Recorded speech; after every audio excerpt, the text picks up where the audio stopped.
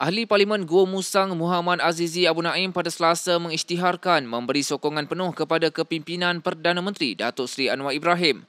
Perkembangan ini selepas dua ahli parlimen bersatu masing-masing dari Labuan, Datuk Suhaili Abdul Rahman dan Kuala Kangsar, Datuk Iskandar Zulkarnain Abdul Khalid, masing-masing melakukan perkara sama sebelum ini. Bagaimanapun pada PRU15, Muhammad Azizi bertanding menggunakan logo PAS. Muhammad Azizi berkata keputusan itu bertujuan memastikan kebajikan penduduk di Parlimen Gua Musang terbela dan akan terus mendapat pelbagai manfaat termasuk peningkatan kemudahan infrastruktur sebagaimana yang dimohon untuk kawasan parlimen berkenaan dalam tempoh perkhidmatannya.